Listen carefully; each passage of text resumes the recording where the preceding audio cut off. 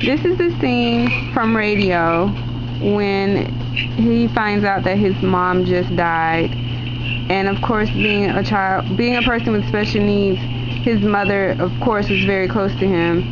And the guy that's with him now is his coach, and he's one of the ones that took him in on the football team. I think that is very important for people with special needs to realize that they do have other people that will be there for them, um, especially when they don't have family members.